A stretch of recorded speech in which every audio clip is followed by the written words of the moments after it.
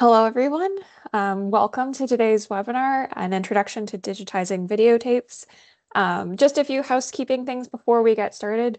So first of all, you've probably seen we are recording this meeting um, and it, the recording, as long as a copy of Rob's slides, will be available within about a day or two from this webinar as soon as we can get it up and we'll let you all know. Um, as per our usual policy, we ask that you keep your mics and cameras off just during the presentation, just so we can save bandwidth um, on this call. And I've spoken with Rob and feel free throughout the presentation, if you have questions to put them in the chat, we can answer them throughout. Um, Rob has said that is okay. And before I get into introducing him, I do just want to do a land acknowledgement. So CAUL CBPA members sit on the unceded and traditional territories of the Mi'kmaq, Beothuk, Innu, Inuit, Wolastoqiyik, and Peskotomuhkati peoples. Treaties of peace and friendship were first signed in 1725 between the British Crown and the Mi'kmaq and Wolastoqiyik peoples. The treaties did not deal with the surrender of lands and resources, but recognized Mi'kmaq and Wolastoqiyik title and established the rules for what was to be an ongoing relationship between nations.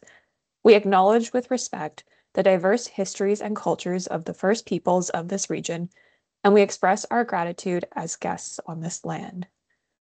So from here, I'm going to be turning it over to Rob, who is a sound and moving image archivist um, for the Provincial Archives.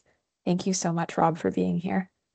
Uh, thank you for having me. Uh, special thank you to Evan Eccles. I don't think he's here today, but he was the one who asked me to do this. So I am happy to share my knowledge with anybody who um, is interested. Um, obviously, you can see on the, hopefully everybody's seeing my info on the screen here. So uh, if you do have any other further questions after the fact, you can email me. I, we'll get back to you and I have uh, a free time. Uh, some people may or probably less likely to know. Uh, we just, I'll talk a little bit about it later with our, our YouTube channel, which kind of has kind of exploded. So I've been kind of a little extra busy with that right now, but uh, I will always find time to um, make sure that I can assist in any way that possible that I can.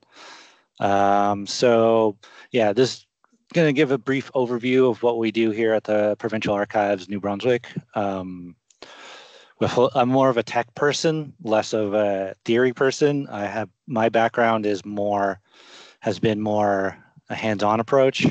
Um, I just have a I have a history degree and a sound engineering degree, um, or certificate, whatever you want to call it. Um, so I I didn't go to school specifically for archives. I just kind of fell into the job, um, and then uh, been at the provincial archives since November 2008. So been around a little bit.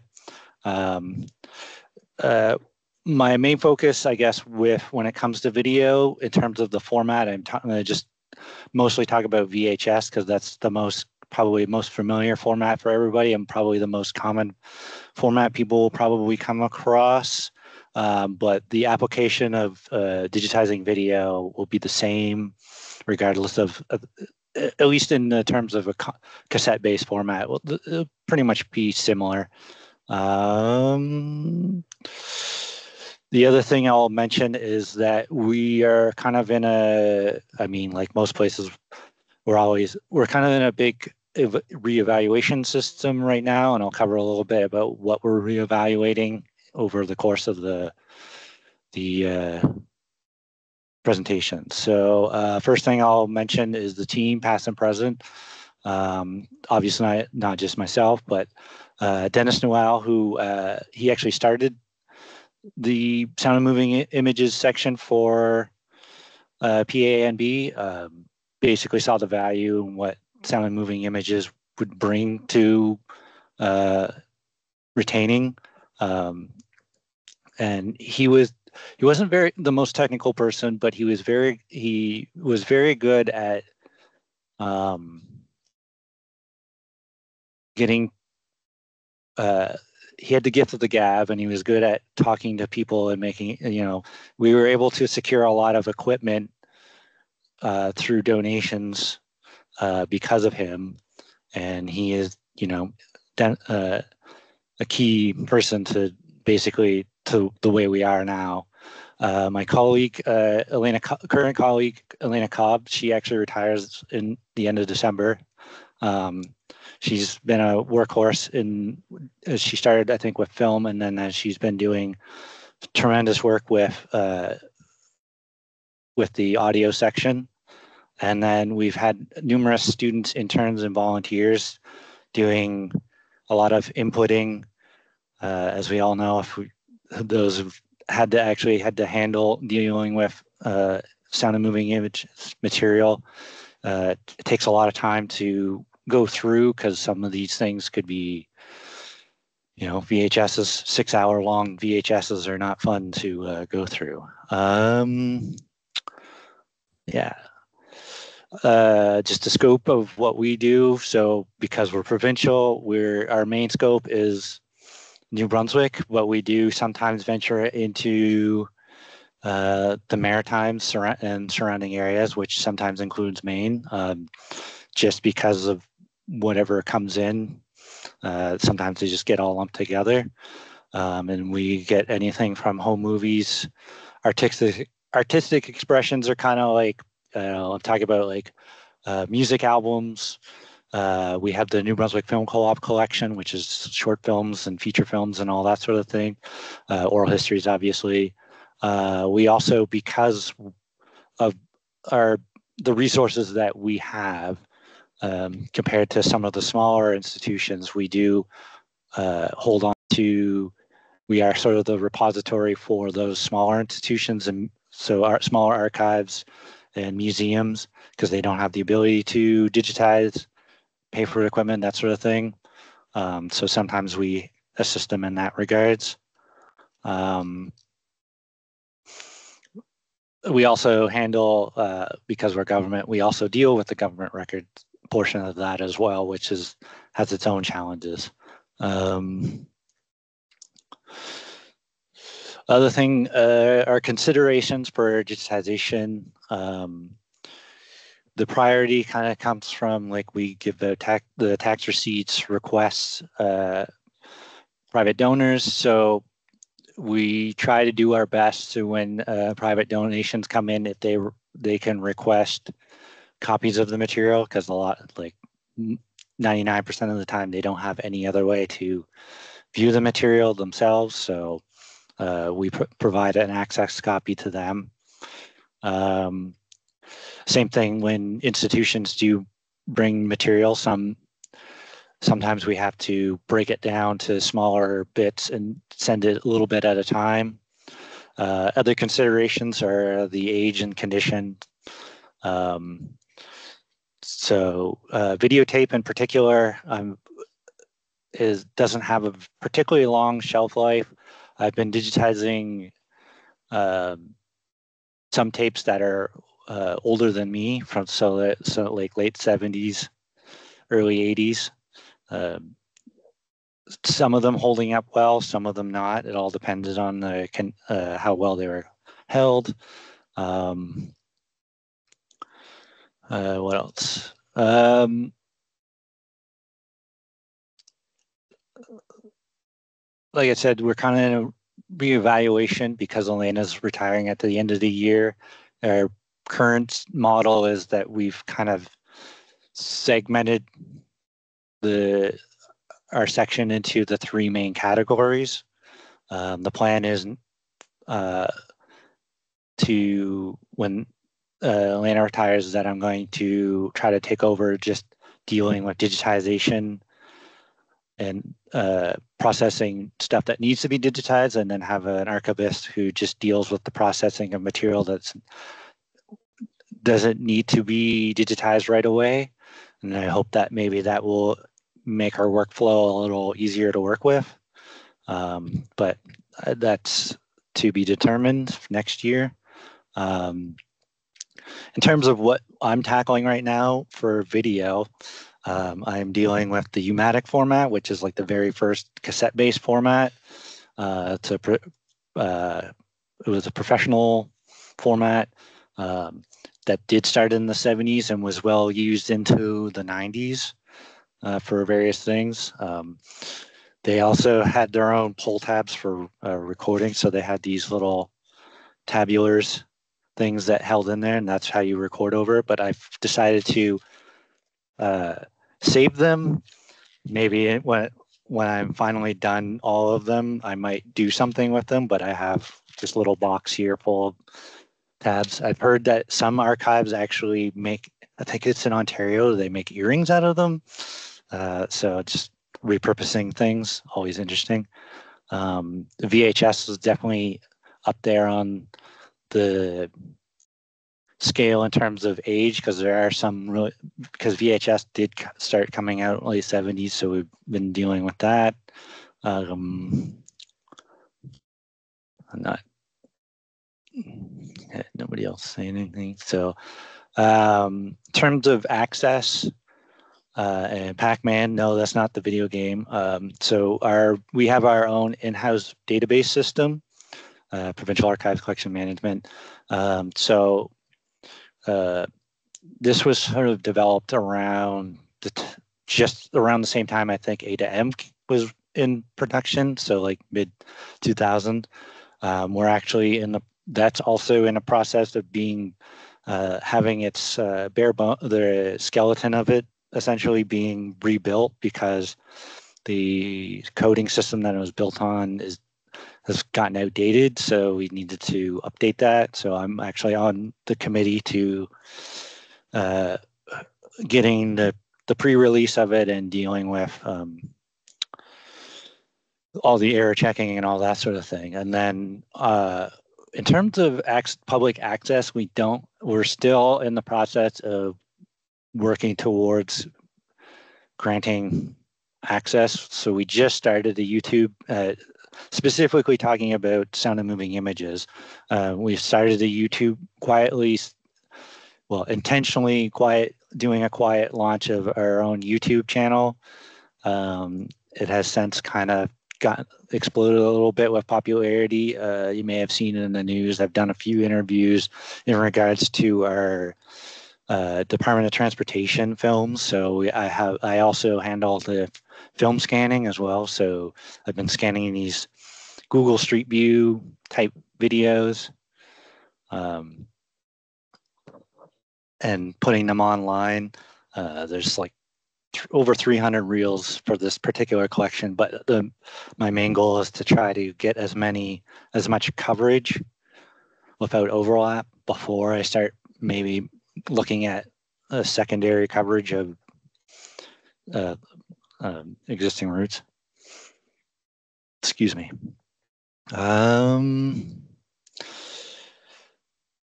yeah, one thing about yeah, we're still also part of uh, working with uh, our Pac-Man system.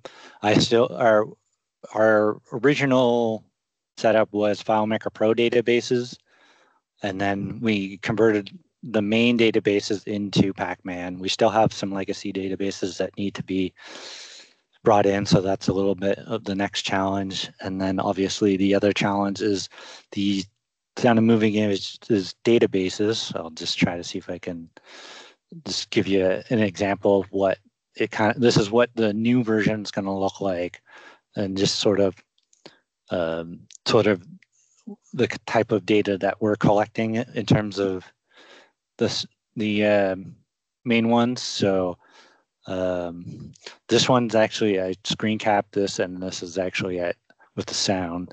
Um, uh, this one's the film one, so just like sort of uh, yeah, some of the main ones here, just like dates, uh, the uh, languages, um, just general description, collection, all that stuff. Um, the comment section is kind of like the catch-all one for like if there's any weird anomalies. So one of the things I've been trying to do with video is a lot of the times either if it's stock footage, sometimes it can come with doesn't come with bars and tone. Uh, so I wanted to denote that, but also um, a lot of times if they do add the bars and tones, it's done in the studio after after the fact that it like how it's shot out in the field doesn't always necessarily line up color wise and level wise with what the bars and tone is. So I need to be, uh, we're trying to be more proactive in noting that it doesn't line up. And that's one of the things I guess with digitizing video is you may see that and you may set up your video to be in line with how they've set that up, but it's always a good idea to, in when you're to view, take time to view the material to see what the actual levels are, because sometimes, again, what's what they've put on, what's actually been captured is doesn't necessarily get reflected from the bars and tone that's at the beginning. Um, this one is of the film sort of thing. So it just like talking about the different exposure levels of the format. Uh, with video, let's see if I can pull up uh, the video one here. Uh, I hope everybody can see this because I think it's the entire screen.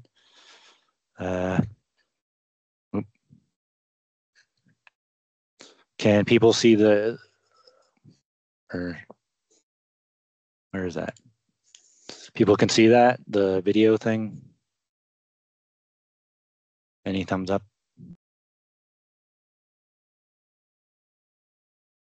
Okay.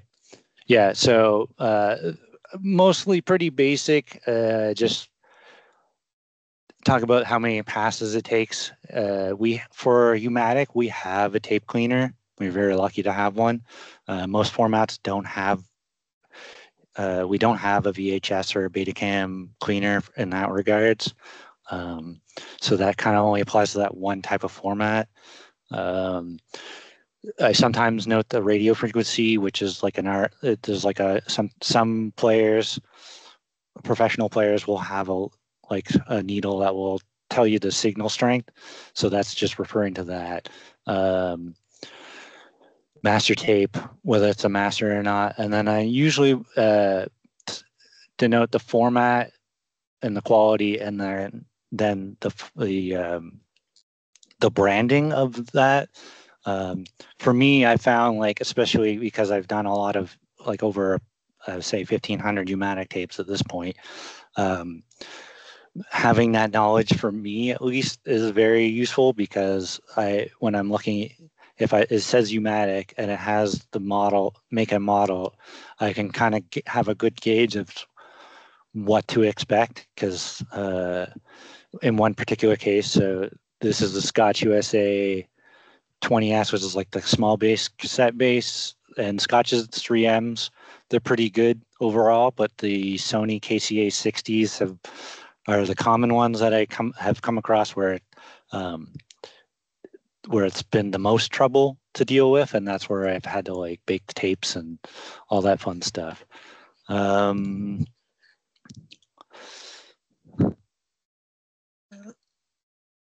so every every all three modules have this uh, regular description and then the technical data that uh, fits within that.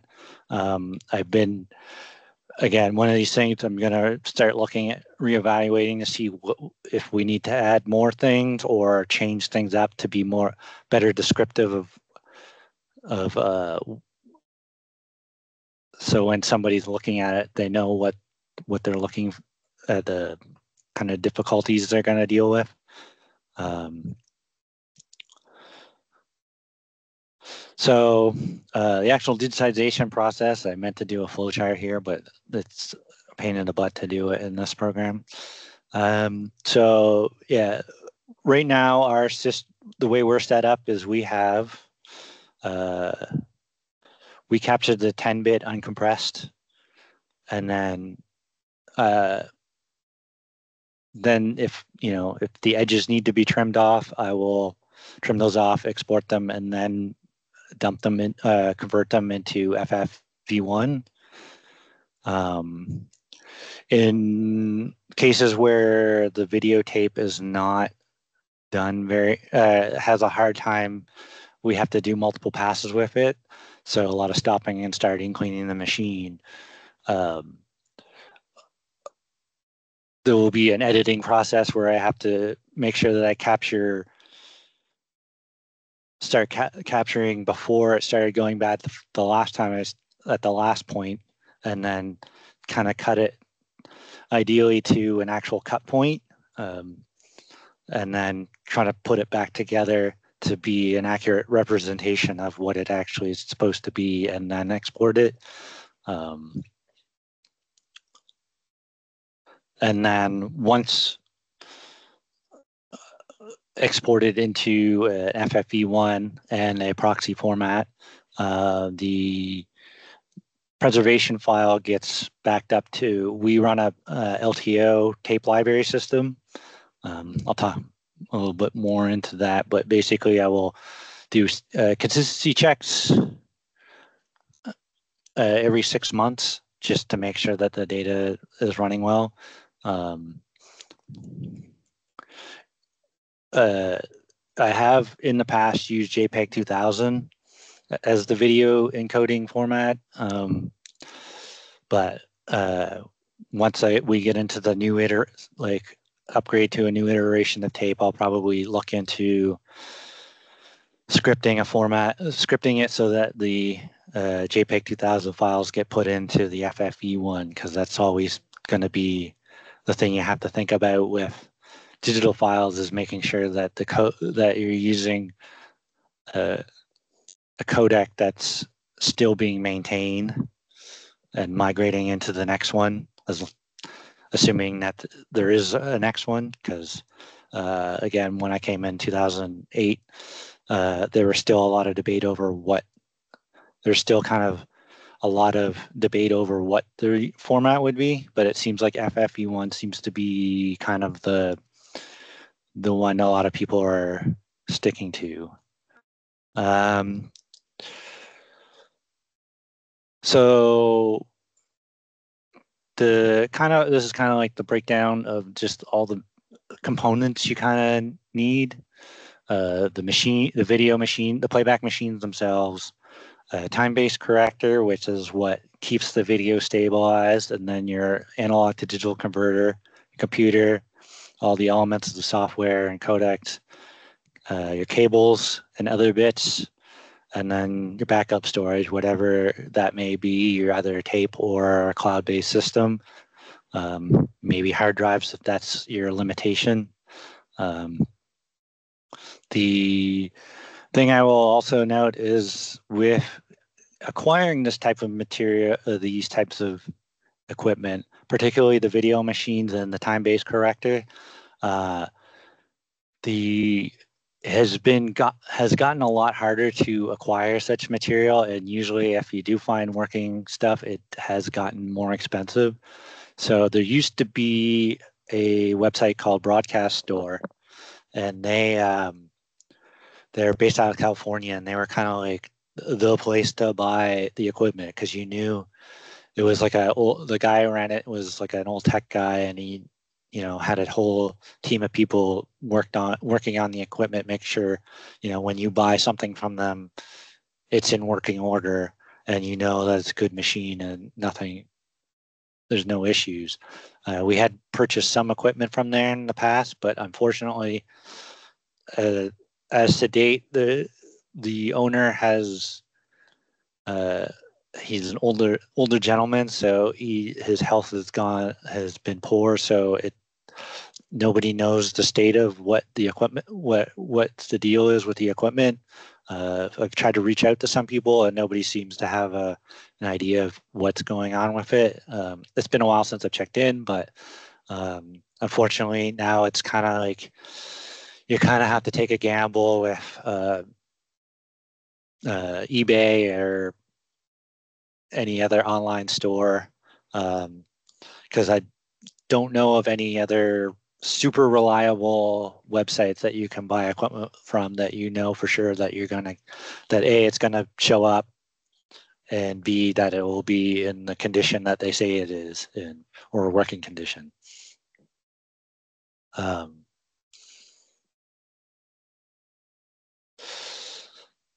So we have, uh, for us, we have two systems currently in place. Uh, we have a legacy system. So the we have a Mac Pro tower that's from 2008 through an AJA Io HD box, which uses FireWire, which is like a basically a defunct um, system. Uh, luckily, it's still functioning. Um, I've had a, I've had to update the computer, and the power supply in the AJA Io box has did uh, die out on me, but I was lucky enough to secure off the sh- there. It was kind of like an off the shelf type part from an electronics store, so I was able to keep that going. Uh, so I just had to open it up and replace it, and has been working great ever since. And that uses Final Cut Pro. Uh, these systems are also offline, so there's no connection to the internet whatsoever. Uh, and the Mac Pro, the uses OS 10.5.8, I think is what I'm at. And I've kept it at that because the Agibox only works within a certain range of um, of the OS X operating system. So if I was to update it to the current version, uh, it would actually not work anymore. So uh, that's one thing to be considerate of in the when it comes to having a piece of hardware that event that you hold on to for a long time uh, kind of falls out of um, with the uh, being maintained by the company. So uh, the other issue, the, well, the other thing is with computers is it's always a gamble when you update the operating system because it could end up breaking the software. So part of being offline means not being not being forced because sometimes machines end up getting forced into an update. So it keeping it offline, I mean, for security purposes is great. It also keeps it from making changes to your unwanted changes to your system because you want um, you want reliability and making changes anytime you make a change to your system you always are making that gamble that you end up may spending more time troubleshooting the machine, getting it to work again the way you want it to work again. And some in some cases, I've had the computer crash, the Mac Pro crash, and I've had to rebuild a lot of the uh, some of the presets that I have, which is another issue. So like once I kind of have it, I've kind of in the mindset that once I have the computers all set up the way I want it to. I don't do make any changes unless I absolutely have to because I don't want to have the hassle of like, oh, if I update this, what ha- do I have to spend like two or three days troubleshooting and that sort of thing, and that just take kills so much uh, production time.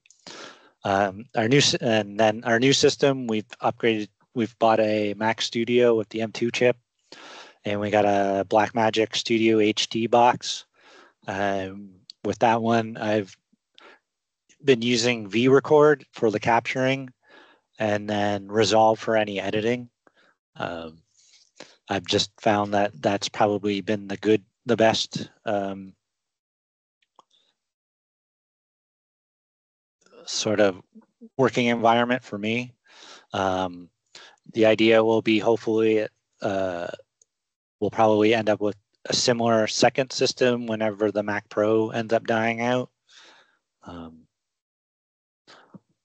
um, but a lot of times, like with Resolve, I'm mostly using that as a way to double check levels and do any doing any of the editing in that regard, similar to how, uh, as opposed to like Final Cut Pro, which does the capturing and editing and exporting all in one go.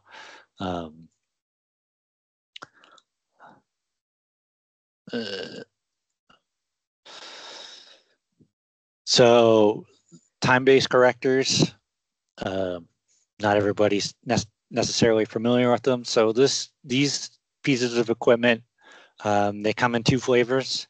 We have external time-based correctors, which are the, the standalone units that their main goal is to well the main goal of a time-based corrector is to make sure that you have a, a very stable signal.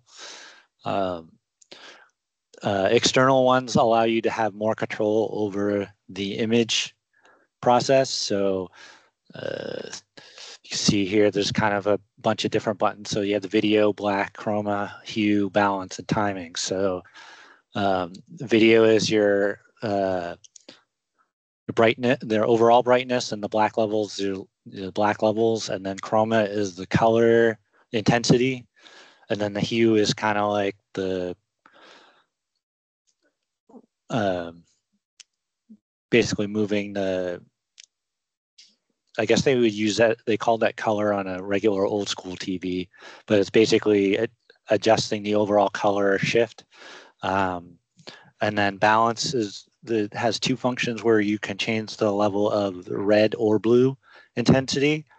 And then timing is like the uh, sometimes what you'll end up with is uh, an image where you'll get a solid vertical black line on the left usually on the left side of your screen. And vertical timing usually you have to allows you to shift the image hor horizontally left so that you don't have the cutoff on the right side uh, or try to at least limit the amount of image that you're getting cut off on the edge. Um, this the top unit technically has the ability to have two built time-based correctors in it, but we only have it for one. Uh, and the other, we just purchased the 235, the one on the bottom this year. Um, speaking to taking a gamble, we bought this off of uh, eBay um, I had to scour the internet for a, a, manual for it because when it came to us, it was actually in bypass mode. So I had to f- open it up and fi- find some manuals so I can adjust the jumpers so that I could actually make the adjustments to the video. Found out that it was actually a big, a lot of, uh, it wasn't, it had been ill maintained. So I had to actually feed it bar and co- uh, the bars color bars through it and like re- make adjustments on it which is again if you're not a person who's um, willing to just dig through equipment like in that regards it's it makes it even more of a challenge i guess. Um, i've been used to i've kind of grown up around this type of tech and like growing up my dad would like the vhs machine's not working and he would just like give it put it lay it before me and be like hey how about you try figuring it out? And i'm like i guess so. So that's kind of i've just gotten used to that sort of thing. Um, i know a lot of people usually don't have that um, experience but yeah it's kind of the big challenge because like we used to have a guy actually in halifax that would do our video deck repairs and he retired during the pandemic which is like that's the other big challenge i guess you know the people who have this knowledge are retiring um, so i've been kind of relying on the internet youtube and just general websites that i've been come across um, in terms of like what type of how do i solve an issue or how do i do a drum repair uh, swap and all that sort of stuff um,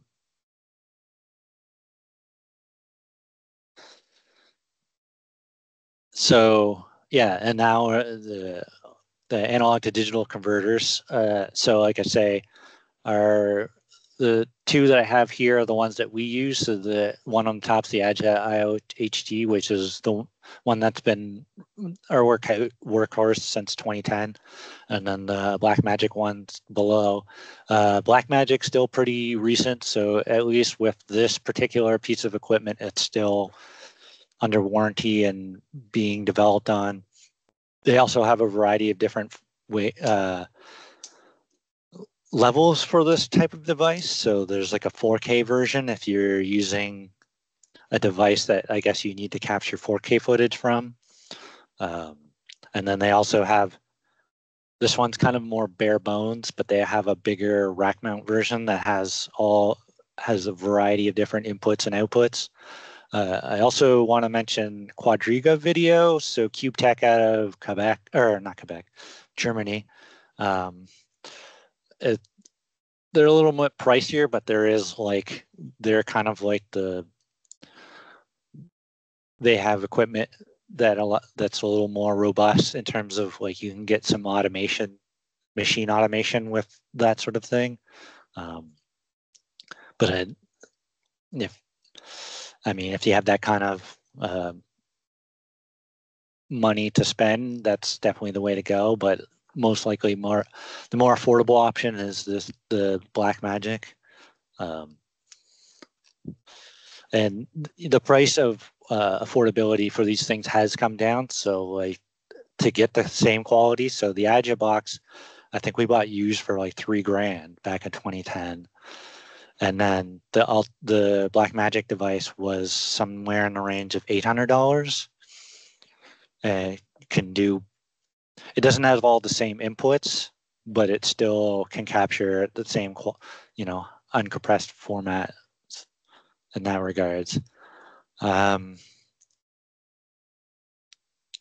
one thing I will mention with uh, in regards to uh, Blackmagic devices is that vRecord I think only is compatible with only communicates with Blackmagic devices. There is AJA still makes other devices modern more modern device capture devices, but I don't think I think Blackmagic devices are the only ones that if you're planning to use vRecord that they or the devices are compatible with. There might be another uh, company that it might work function with. I remember there used to be a bunch of other companies that archives used to recommend, but I don't know if they still are in season or if they've kind of disappeared.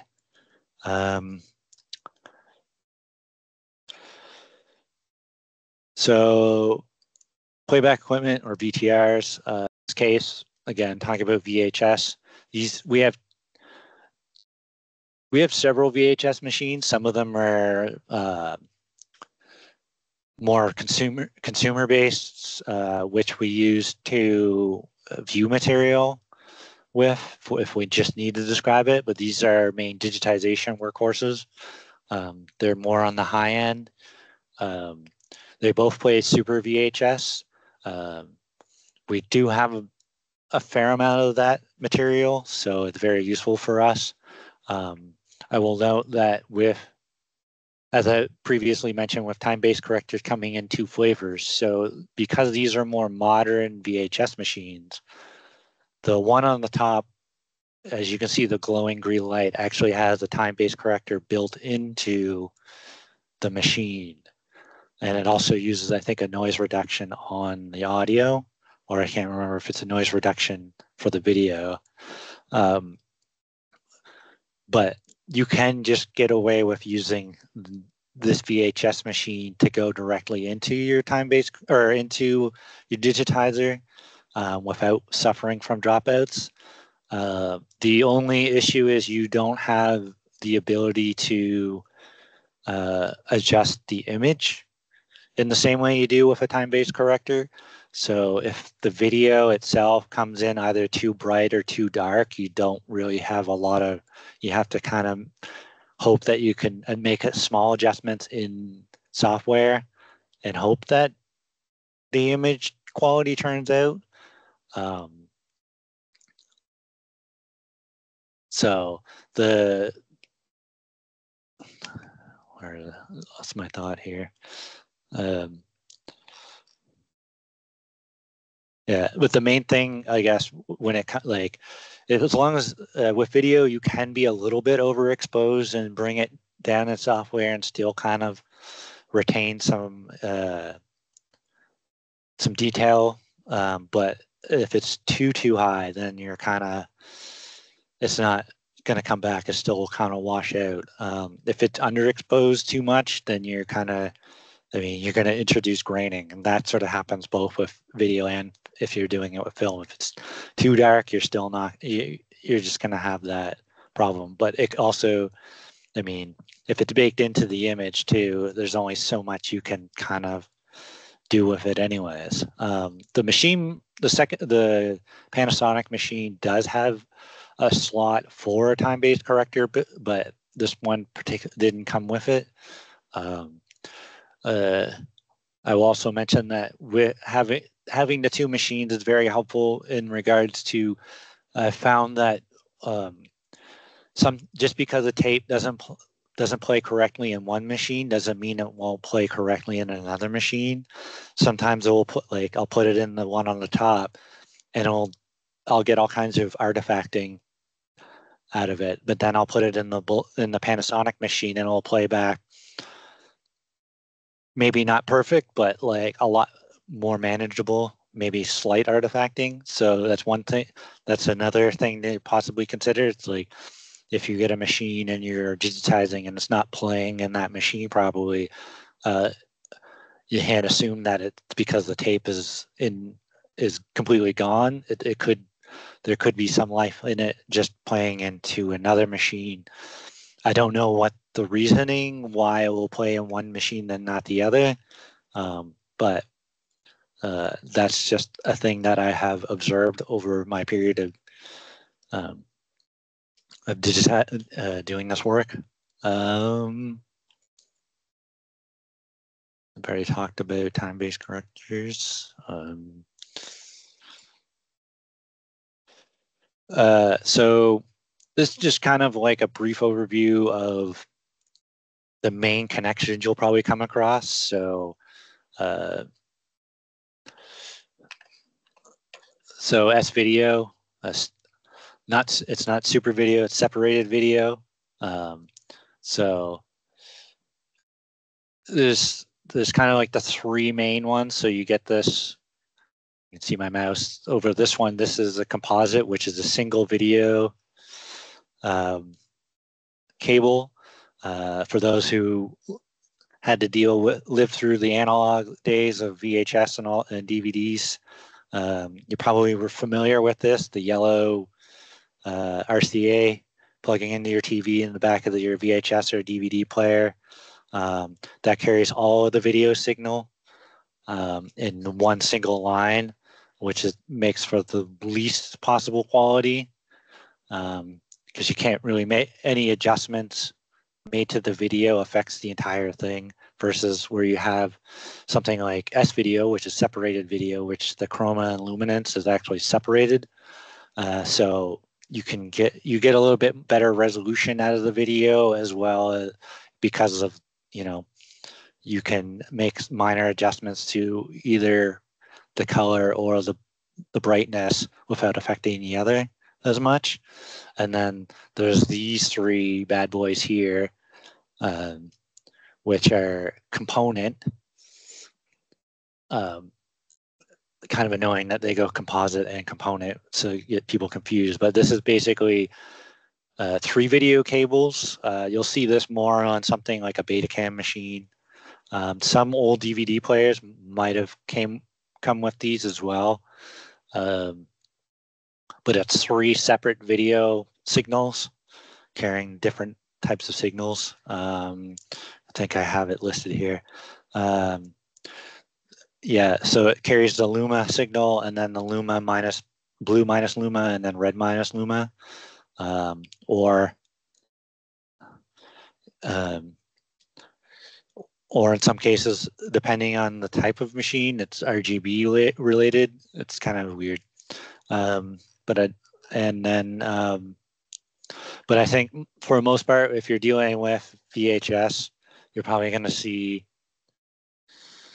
the composite or S video. Uh, and whenever possible, you want to go with S video over composite because it is a, a, you'll be able to get a better resolution image out of.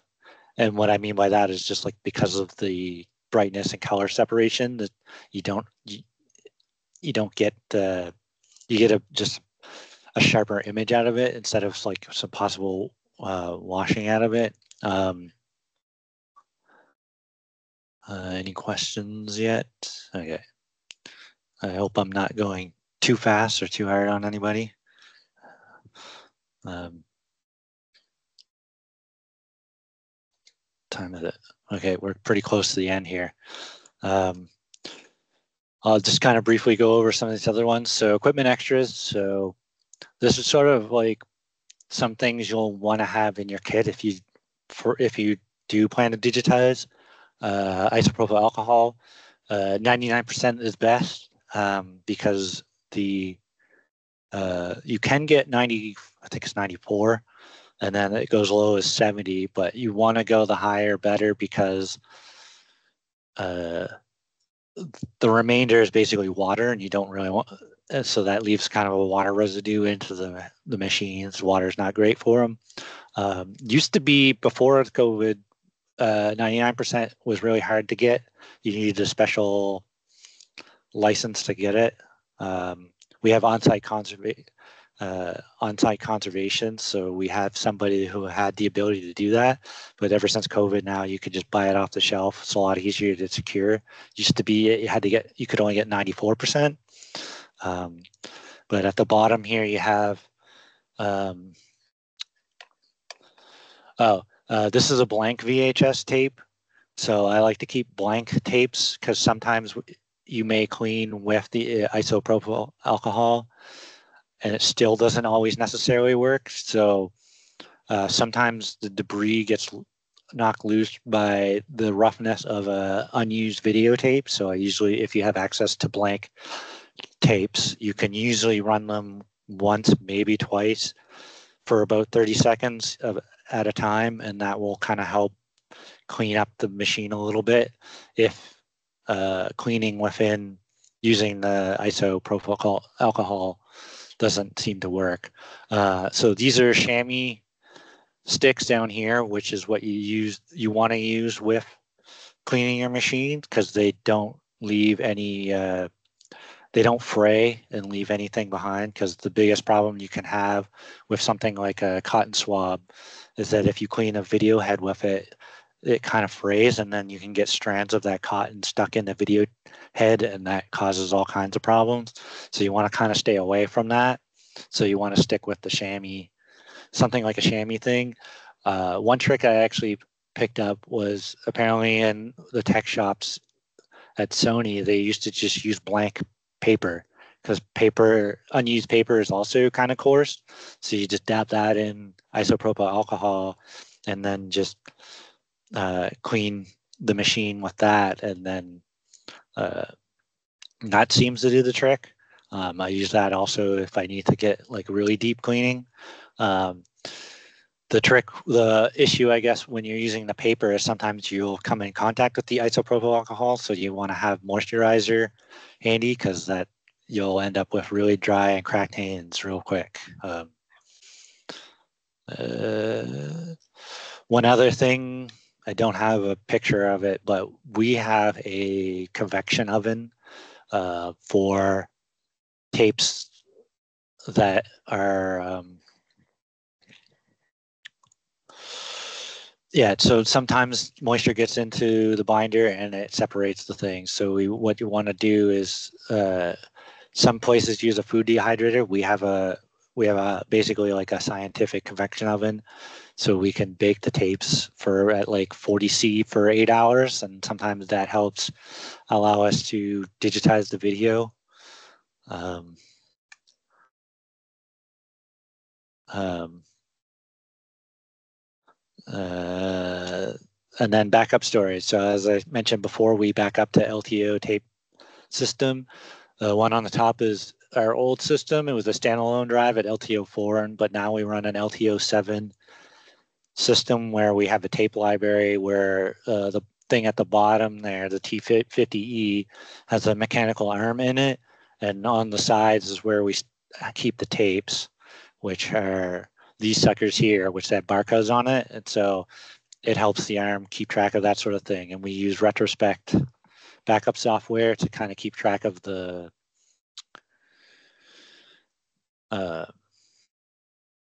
the listings and all that sort of stuff. And also it has assist, I can do scripting so I can automate over the weekend if I need to do a consistency check. Every six months I do consistency checks. So what I do is I'll set up a script. So I know approximately a tape takes about, I don't know, four to six hours to check. So I'll set up a script so that so many tapes will be checked over the course of the weekend or over the evening. So I, it helps in regards to because if it frees up the machine during the day in case I need to pull material from it. Um, the thing I guess with the backup storage for in this case is that it has a, up, a heavy upfront cost. So the going with the tape backup system that we have, the T50E, I think it was like about to get the computer, this library, uh, everything all set up. Uh, and then I think we got 40 tapes, I think, to start with. Uh, was about eighteen to twenty thousand dollars. Um, the other thing I should also mention with these tapes is um, we do at a minimum we do duplicates. So there's two a, a, set of two every time I back everything up as a minimum. Um, technically, in the backup world, uh, three copies is usually the minimum. Um, I will probably, depending on you know if we can increase our budget, the idea will be to maybe do a third offsite copy in case something happens. Um, that's something that I'm considering down the road. Um, uh, I know that in some cases, a lot of people don't have that kind of budget for things, and some people like to use cloud-based services. Um, for other sections of our archives, we use Preservica, which uses uh, the AWS. Um, uh, I did. I don't think I. Yeah. Okay. Uh, right now, I have something along the lines of uh, the amount of data that I have something in the range of 60 terabytes right now. Um, we were at a point where we were doing only about six terabytes of data a year. Uh, that has uh, increased substantially ever since we got a our high-end film scanner, so we can scan films at 4K and HD. So um, we're probably closer to 10 or more a year now. It's um, which um, if we were to do all that on the cloud would probably cost us a lot more pretty quickly compared to maintaining this current system. Um,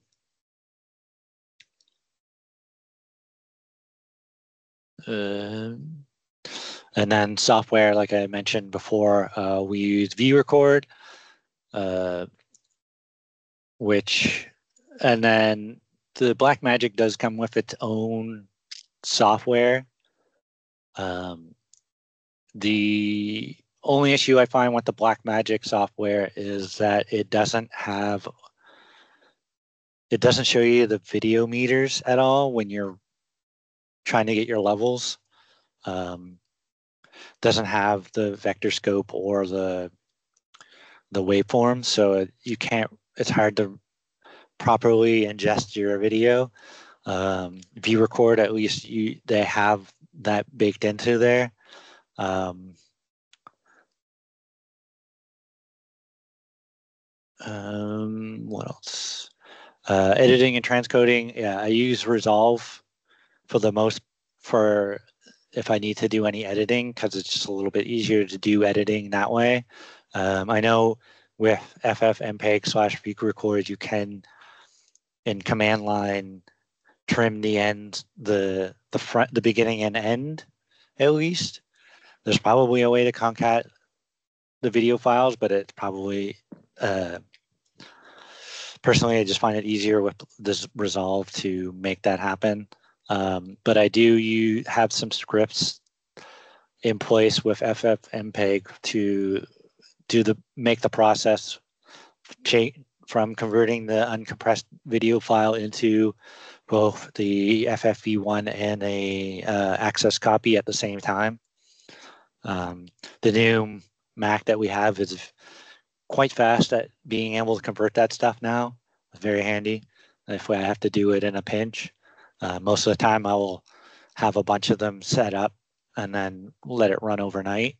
Um, again, uh, other tools that I've been looking into is uh, there's RAWcooked, uh, which deals more with I think with film So on the film aspect, I have been looking at that where it has the DPX conversion to FFV1 and then it, it can convert it back to the DPX, which is super handy because DPX captures get really huge really quick. So uh, I found that it's the quality to uh, size usage of FFV1 in the Matroska container format has been very handy. Um, and I'm hoping to carry that over uh, with film. Right now, I'm still using JPEG 2000 with film as well versus the DPX. So, um, and then this last one here, just some links.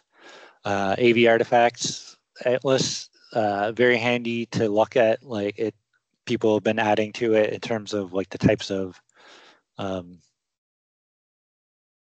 uh, issues you may come across and what and uh, they give examples of what it is. So if you're finding you're digitizing a video and you're finding that there's an issue happening but you're not quite sure what it is the AV artifact atlas is actually is a great place to go to for uh, trying to figure out what that issue is um, and then uh, I've been, I'm not a member, but I've been part of the subscribed list of the Association of Moving Images Archivists. Um, and they have a lot of uh, software that is related to uh, archiving uh, film and video and audio. Uh, MediaArea is another one of those ones. And then LabGuy's World is kind of like a guy used to be a a tech for old video equipment. Uh, his the video the the website itself focuses on more on like a lot of the older older equipment. So like the open reel stuff. So like Quadriga, um, half inch open reel, uh, all the type A, type B, and the three types and the type C's and the like all the the really oddball formats in, uh, of the uh, early open reel video and some and but he also talks about uh U-matic as well on there. Um oh i missed one. There was uh U-matic.pal or something like that. It's like a european website that talks about the pal format as well. Um the also uh, LabGuy's World does have an explainer more about like how video is uh, written to tape as well very handy if you're not familiar with it. Um, uh, obviously, there's always, I'm always on the lookout for looking at tools and like the challenge is to find time to to test and find a way to incorporate those tools in there. So I, uh, I'm hoping next year that once I once I get more settled with uh, the whomever uh, uh, replaces Elena, that I can start looking into that. So, um, yeah, that's, I mean, that's what I have. Um, hopefully some people have some questions because I'm sure I've glossed over things or confused people or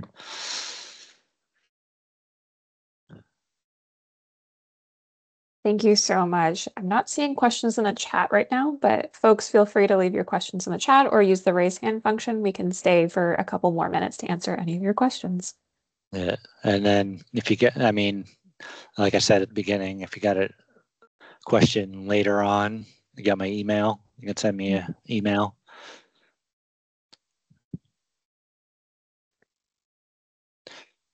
We've got one in the chat from Dawn. Yeah, the U-matic machines. Yes. Yeah. So we've been very lucky to secure some. Um, you, like I said, eBay is probably currently the best way. Um, I would have to have come across some websites, but I think most of them seem to be selling more Betacam and um, VHS machines, but uh, I would check eBay mostly. But again, it's a total crapshoot in terms of finding one that's functional. Um, yeah, Um, and that's the thing. It could be anywhere from like it just needs new belts to the head, the tape mechanism won't load at all, or you might need to replace the head. Um, if you maybe send all, if just send me an email and uh, I could try to see if I can find a place that might be more, that could be more reliable in terms of. Uh, but yeah, it's the difficulty right now. The biggest challenge is keeping those machines running and having the knowledge to be able to fix those machines. And like for my end, I have some basic knowledge on how to do some maintenance. Uh, but again, finding the time to do the bigger problems, like I can replace belts, no problem. But um, I got a machine with a tape mechanism doesn't load properly, so it needs to be completely wiped down and re-greased. And then I think I need to also replace the drum because the heads on it are bad. Uh, we do have the heads for them, but yeah, it's. Uh, uh, thank you, Roger. Uh, I will have a look at that as well. Um, all kinds of resources out there. It's uh,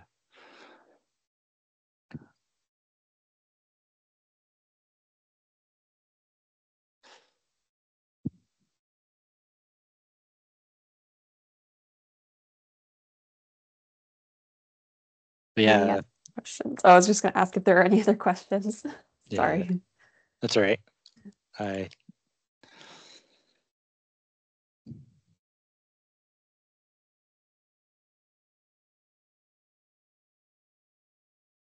Give it a minute in case anyone's typing in the chat.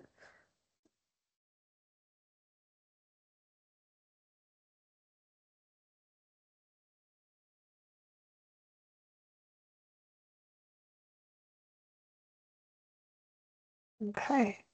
If there, oh, if there are no further questions, um, Rob, I just want to thank you so much for your time and your talk today. This has been really informative and very great. And yeah, thank you so much. And again, we will be posting a recording of the webinar along with slides from Rob up on the CAAL website later to, or either later today or sometime tomorrow. Um, and thank you everyone for attending. thanks for having me. Uh, uh.